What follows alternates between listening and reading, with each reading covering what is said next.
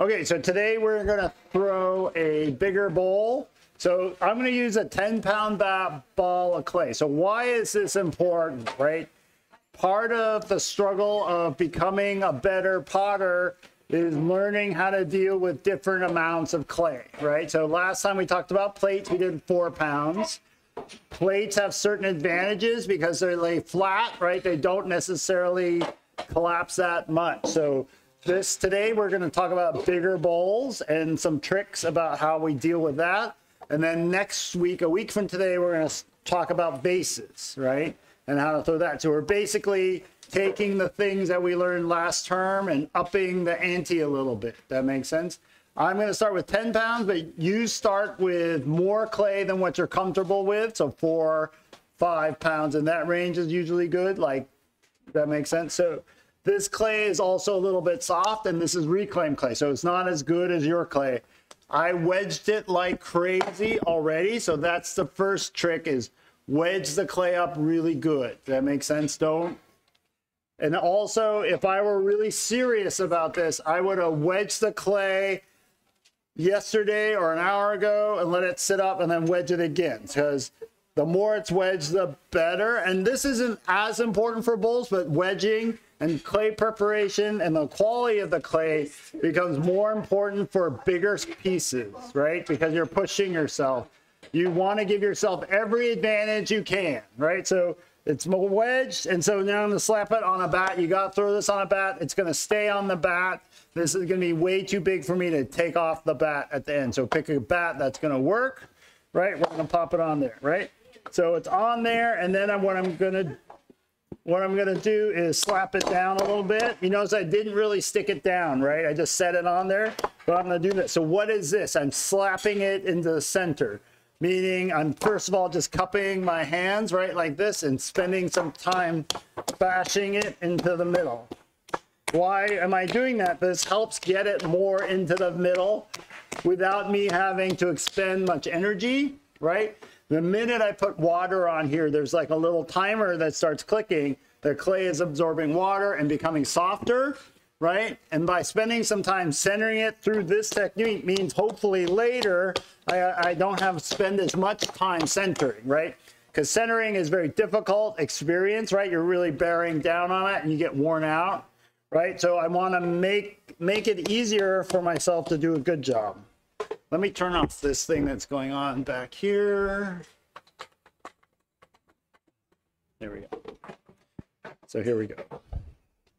So here we, oh, spend some time slap centering, right?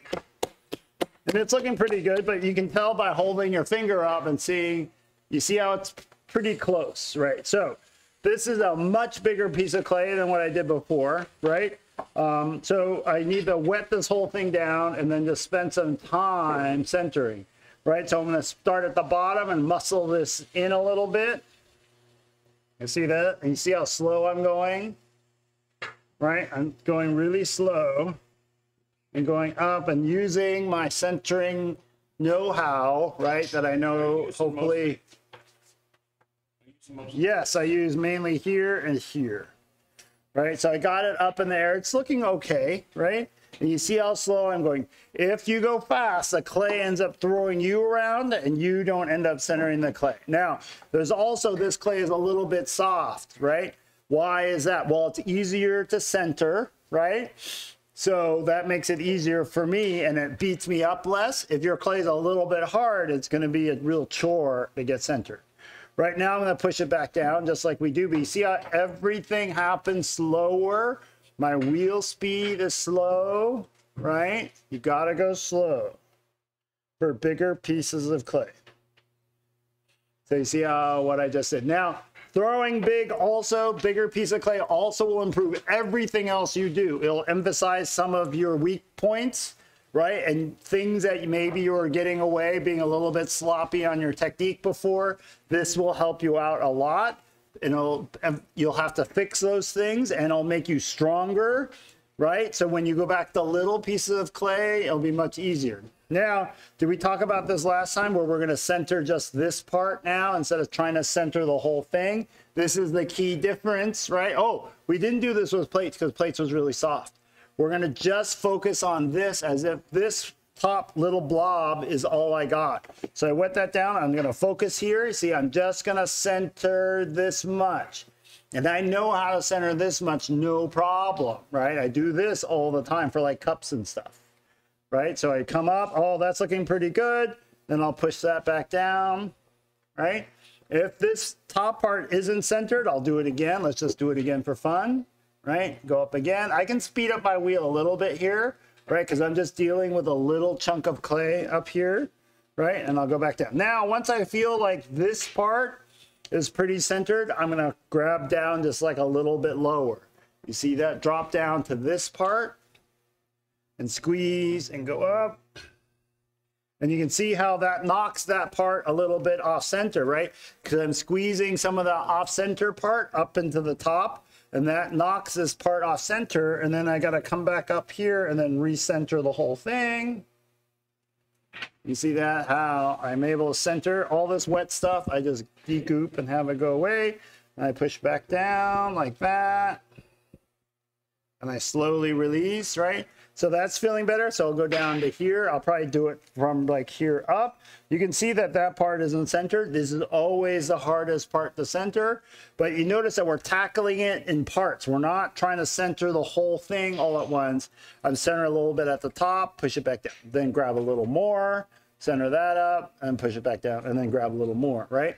You stay at one level for as long as you can until you can get it mostly centered. That makes sense to everybody? This is the trick. So here I'm doing this part, it's hard.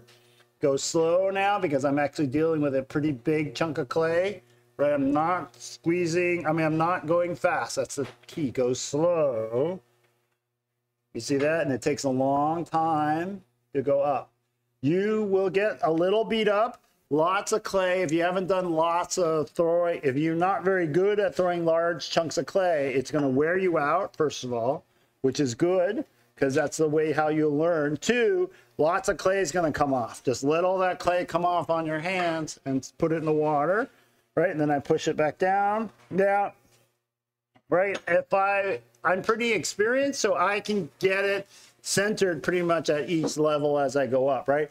There's a combination, I'm doing a combination of finesse and knowing how hard to squeeze, right? And you guys don't have that yet. So here, I'm going to come down here. I'm going to squeeze, go slow. Look how slow I start going to do this part, right? I'm going up. I go up.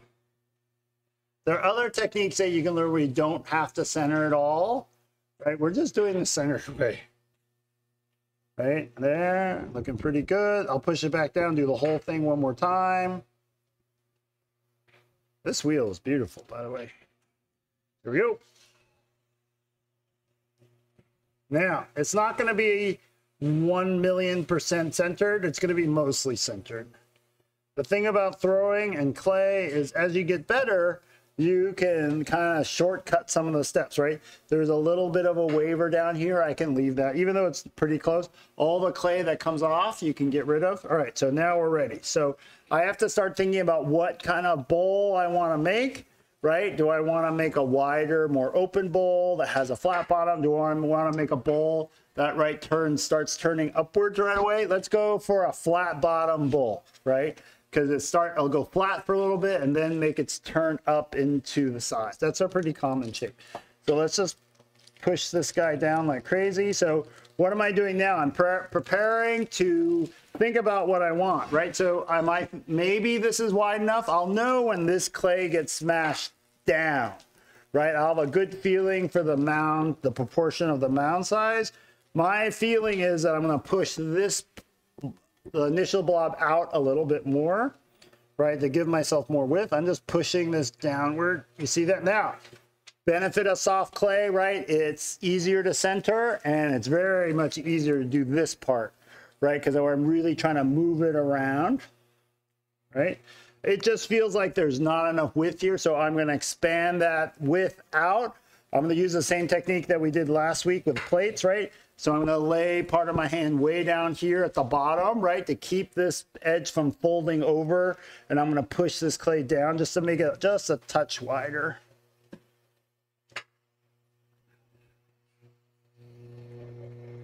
See that how it's getting wider slowly? That's pretty good, right? That's feeling really good for how much clay I got and what I want. All that goopy stuff comes off. And then I'm gonna flatten this out some. So now I did all my prep work, right? I'm ready to actually start shaping it into a bowl. See how slow I'm going again? Don't go fast. Slow is the key. Slow also means that you need to be strong enough to hold that position for longer too. That makes sense to everybody? That you will become a stronger thrower, right? So here, now I just go down like normal.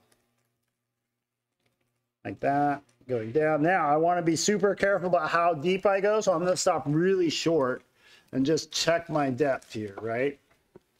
Let's go really short and just check my depth. Oh, that's really too thick, right? But since it's going to be such a massive bowl, everything's going to get bigger. How deep my foot is, how deep the bottom, right? How much cavity, empty space I have below the foot. So I actually want to leave this thicker than I normally would because proportionately having a deeper foot probably would look bigger, right? It'd probably look better in it. That makes sense?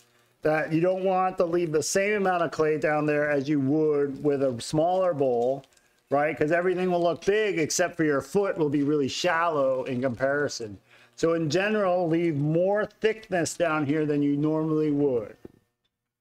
So that's looking really good. So normally I would leave like that much. That's about enough for me, right? You see that?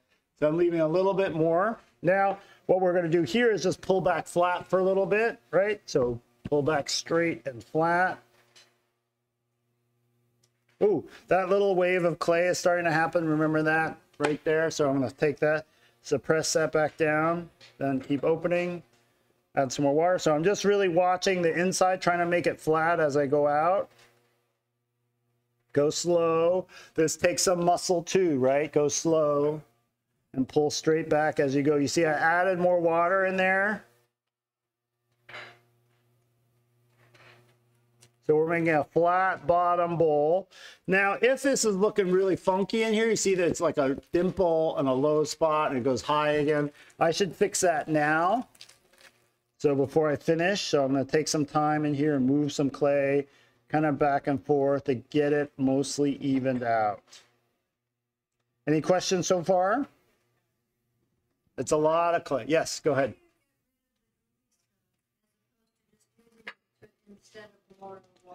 Uh, because I just end up with a whole handful of goopy stuff.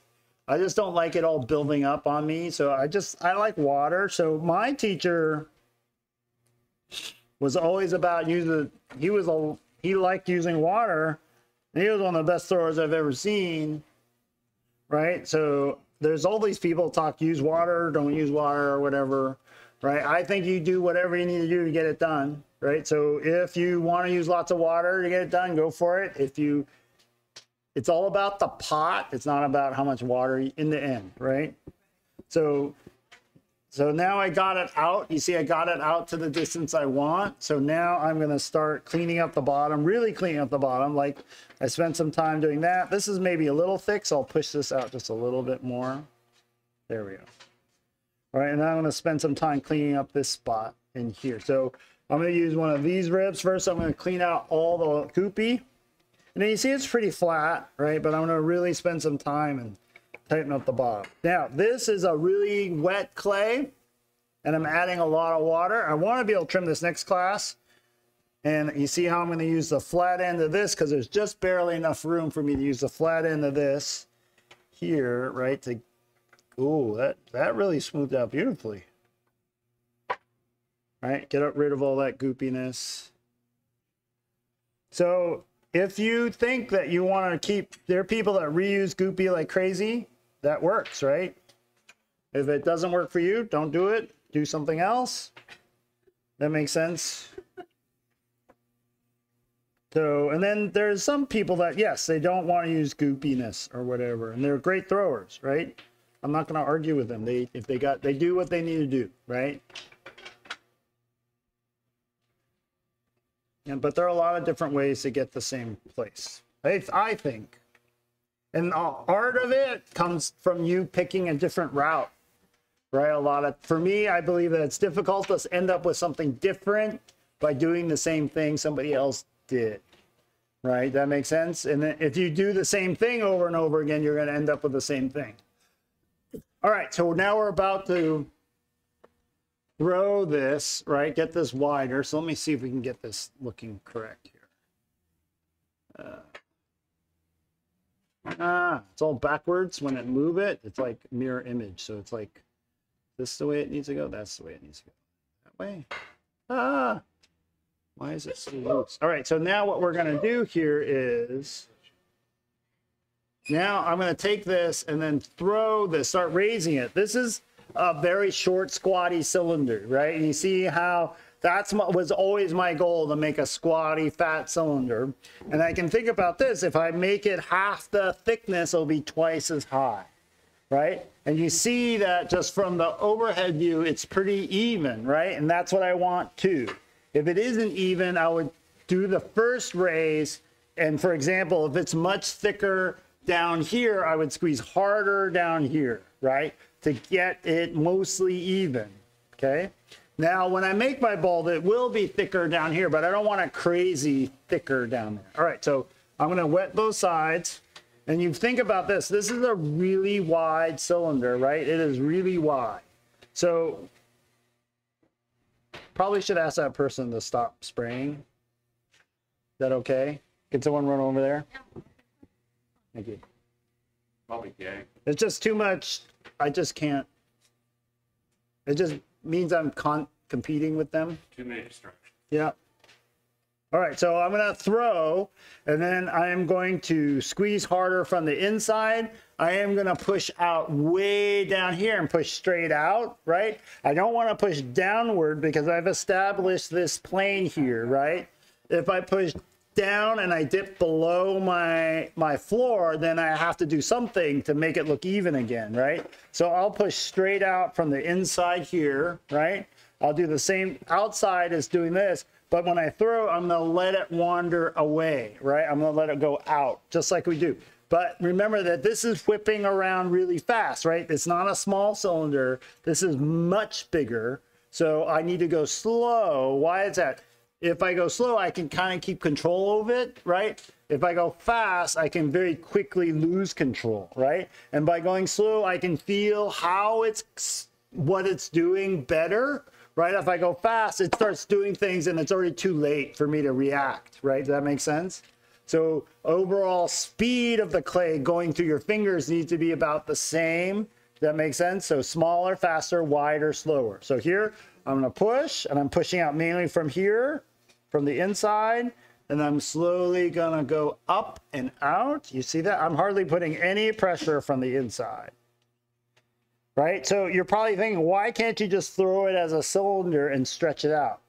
Yes, you can. And that's the way, like when I was like you guys, I used to throw cylinders and then push them out. It's a lot of work to stretch out something later, right? Once you get it nice and beautiful and even and weak, right? Is the other thing, right? Thin. It's a it's a lot of work for that thin piece of clay, especially the rim, to move all the way out right? Right here, it already start, it already kind of looks like a bowl, except it's just kind of thick, right? So my job is to throw it up and out and and lessen the thickness, right? So I could leave it like this, but this is definitely like, I don't know, like some monster bowl or something, right? Something that has like a like a I don't know, like its face is like made out of stone or something, right? For a 200 pound dog. Or something, right? And that really wants to kick it around or something, right? You could hit it with your car. So I definitely, that's a consideration, weight and usage. So I'll do the same thing. I'm gonna push harder from the inside here. Push, push, push, push, push, push, and then start applying pressure. I'm applying more pressure now from the outside. I better slow down. See how slow I'm going? Oh, I, I'm worried about now getting too thin, so I'm letting up the pressure. You see that, how I let up the pressure? Now, why is that important? Because I could always thin this part out later, right? This part thinning out is easy. This part here, if I make it too thin and too weak, it's never coming back, right? That makes sense? That I can't bring it. So always this rim always gets a little distorted, so we're gonna fix that. You see that? Spend some time doing some repair work there. Right? So now I kind of have to judge it. Is it getting weak? This clay is really weak, but it's still really thick. So I'm going to really wet the snot down here out of it. So how am I going to wet this down? I'm going to hold my finger here and just spill some water in so it gets all over the place. And then I can smear it around. I can now do the same thing, smear it around the outside. So it's all wet and happy. Then we'll go again. So here, this, I can squeeze a little bit more down here. I just familiar with the clay. I'll squeeze a little bit here, right? But getting close to the end about, I can feel it. This is, even though it's still like a finger's width thick, I have to start thinking about the end, like how much, what I want it to be, how much strength do I need to make it that way, right? If I'm really gonna lay it out, really open it up later, like really lay it out flat, like half as flat as this, I need to take it easy and leave some strength here, right? If I'm gonna leave it kind of like the way it is, and I can thin it out more. That makes sense, everybody? So as you lay it out further, you run out of options for later, right? So I'm gonna squeeze kind of down here a little bit more, thin this out just a little bit more, but I'm gonna start leaving this now just a little bit thicker because that holds all the weight of this up, right? And so how far do you need how far or how thin can you make this? How do you know? You know by screwing up a lot, right? Like, ooh, later after it collapses, right? I know that's the only time I knew is after it collapses. So how do I know? I can kind of see the future, right? Because I've already done this a lot. I already know I have times when I've seen the clay like this here. So I'll squeeze a little bit more down here. And then I'm going to go up here. I'm going to squeeze a little bit more here. I'll start squeezing a little bit more here.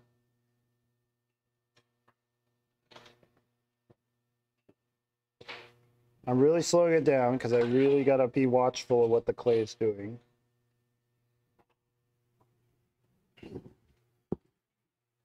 Whoa. So the clay, I can see it, right?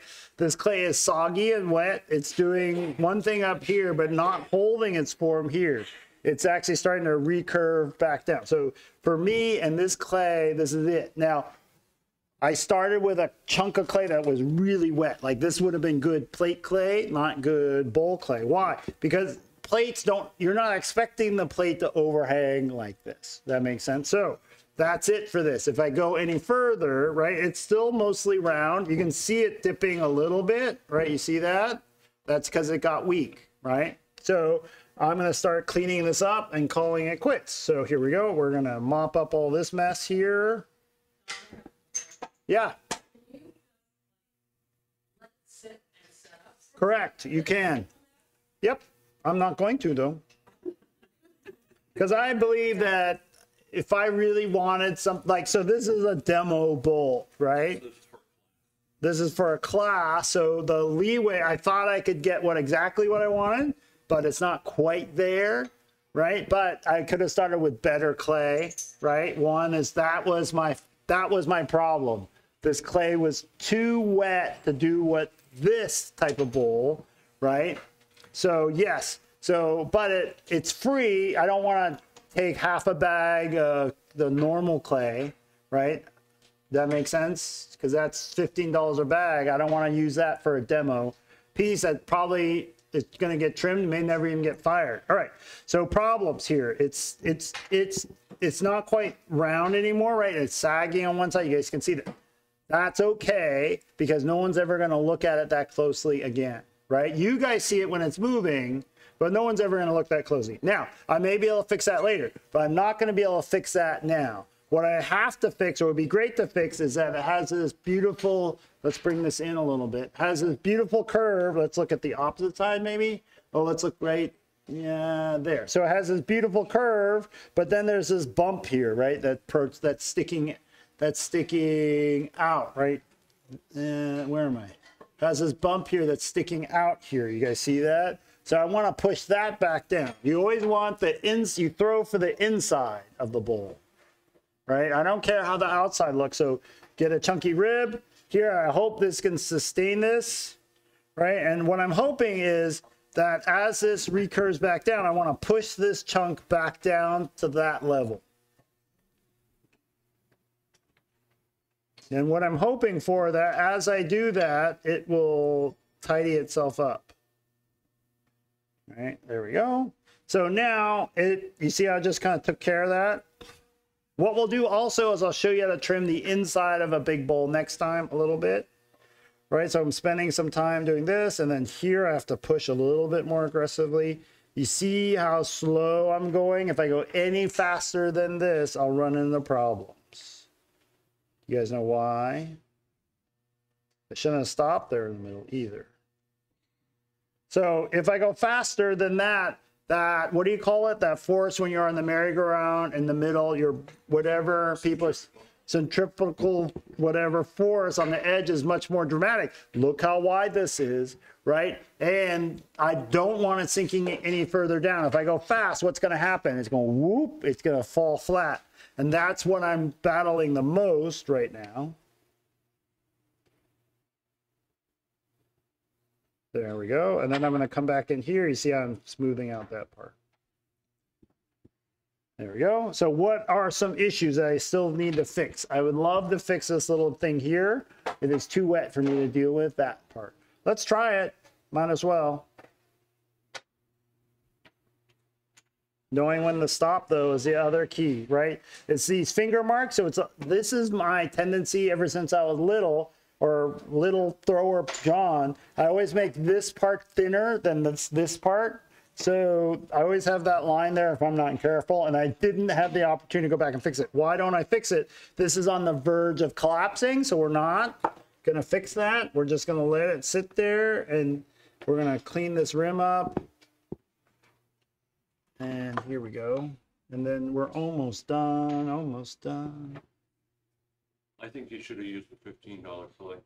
It would have turned out beautiful, right, if I'd used a Well, real I mean, it would just give you the opportunity to throw what you wanted to throw. No, it's okay, because this also shows you problem solving too. That's true. right? So there, and then so why? So another thing you're probably thinking about, right, is you see how if you're into decoration, this gives you this giant place to really say something, either with color or drawing or whatever, right? This is just a gorgeous surface. Does that make sense to everybody? Like it's just so awesome. All right, so what are we gonna do? We're just gonna leave the rest of this like this. It's not quite finished, but at the beginning of next class, I'll show you how we make this look really beautiful. Because your if you make a plate this big or bowl this big, it isn't gonna turn out great. It's gonna have flaws, flaws, flaws, flaws, flaws, flaws. Right, that makes sense. If I started with a good piece of clay, I could almost look flawless, right? Because I really understand the clay right? If you start with new Christy Lombard and you have a good relationship with it, meaning you know how thick, how thin, all that, how to predict the future, you would have could have stopped a little bit earlier, and I could have strength, right? All right, so that's part's done, and then we're going to undercut just like we do a plate, right? So let's see if we can get that to the right spot. Here, use this guy here. I'm not going to try to cut any off. I am going to clean it all off though. Maybe. Let's take this off.